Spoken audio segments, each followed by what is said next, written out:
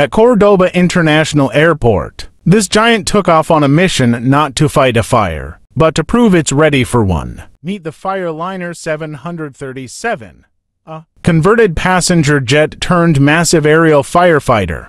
Flying over the mountains of Cordoba and across Lake San Roque, the crew tested how the aircraft handles tough terrain. Then came the moment of truth.